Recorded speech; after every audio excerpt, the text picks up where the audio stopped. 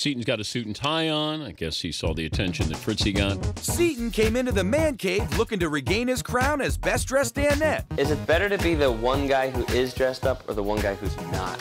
A great question. I'm sure the boss has the answer to this one. You never hear a woman say that you don't look good when you're dressed up. Today, DeMarco Murray rushes into Dan Nation to chat about the Cowboys' domination of the Rams. Now, dressed like this, Yeah. you? Wow, Seton, that look is sure to get all the ladies. Should we expect this more often? I do it like probably five times in the last five years, so. I guess that means no. The Dan Patrick Show is next.